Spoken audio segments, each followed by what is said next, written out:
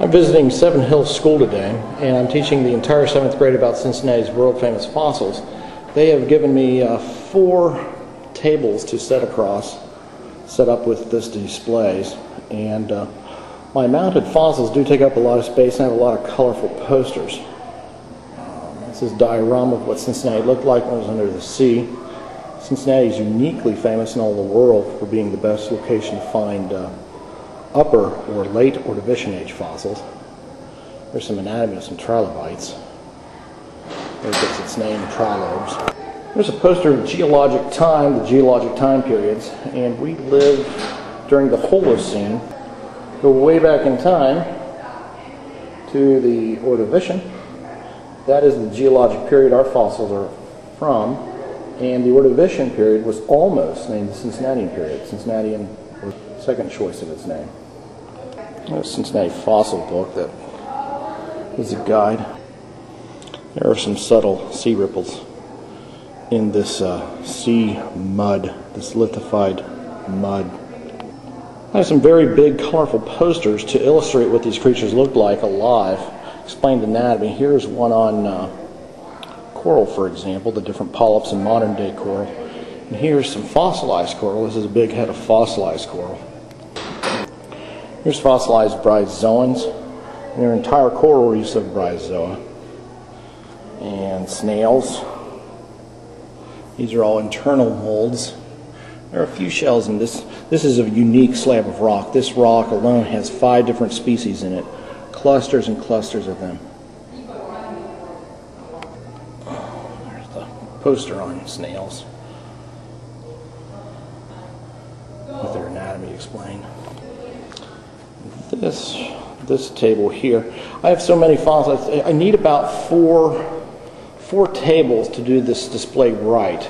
And of course, the, the posters can be behind one another. It doesn't need to take up quite as much space if space is limited. But uh, it's a large display, large hands-on display. The kids get to see these, touch these. And here's this one's on crinoids. And here's one you can see all the little tiny stem plates of the crinoids. Here they are. Here's some rare whole ones. And some very rare, entirely whole ones, intact ones with the uh, little calyx. Calyx is intact. And the rhizomounts of the crinoids. This common way of finding them are shriveled up and small, closed like a mop. This displays of the brachiopods, the seashells, the fossil seashells. 35 different species of brachiopods found in Cincinnati. Some very small. The smallest one is the size of a BB. The largest one is this one here. And this is what they look like lying peacefully on the seafloor.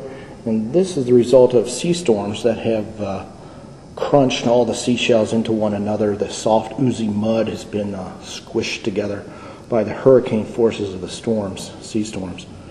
And uh, now all the shells are seen on edge. They're sort of like Pringles potato chips coming out of a can, one stacked in behind another. So they're just stacked and packed. And the same thing happens in today's seas and oceans after a sea storm. The oozy mud, just a tremendous force which plows all the uh, shells together.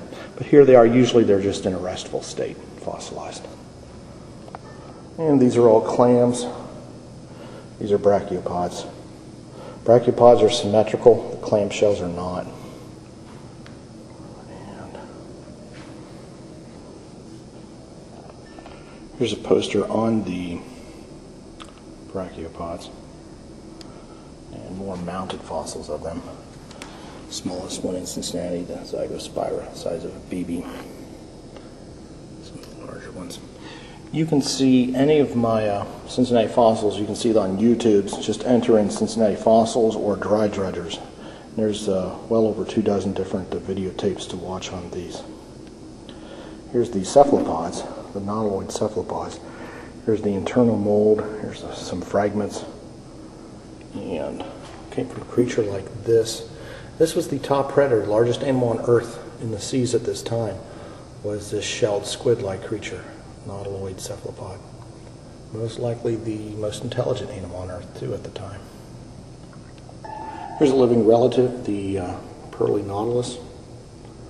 Here's a cutaway showing the anatomy, the back chambers, that we see fossilized. Here's the living chamber. There's the common fragments. The kids, the school kids, they get to see these hands-on. They get to pass these around. This way they can touch and feel them and uh, get a sense of their weight, the feel of the minerals. And uh, it's a little different experience than just looking at them in a book. It really uh, brings it to life to have them right in front of you. Here's some of my trilobite posters explaining the anatomy, the three lobes that make a trilobite, and what they looked like when they were alive, grazing on the seafloor. This is a really neat one. The kids can take a magnifying glass. This little speck of rock, no bigger than a postage stamp, has uh, 13 babies. 13 baby trilobites on that rock. Pretty amazing. Also some fossilized worm teeth. Believe it or not, little tiny worms. They have little tiny teeth. And you can see the grasping hooks. If any of the schools would like to invite me to come out and give this presentation to the kids, uh, the school children in science, usually the seventh grade does uh, spends time on Cincinnati geology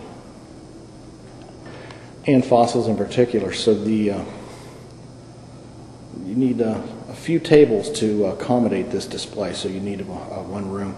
The Seven Hills School has had me out every year. I've taught uh, the entire seventh grade class year after year. This is now my third year here. And we live in what's called the Holocene here. If you and the earlier geologic periods, the Pleistocene, Pliocene, Miocene, Oligocene, Eocene, Paleocene, Cretaceous, Jurassic, Triassic.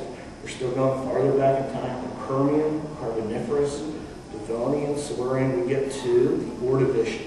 And this Ordovician period is a span of some 60 million years when Cincinnati and the tri-state area was under the sea, anywhere from 5 to 60 feet of seawater.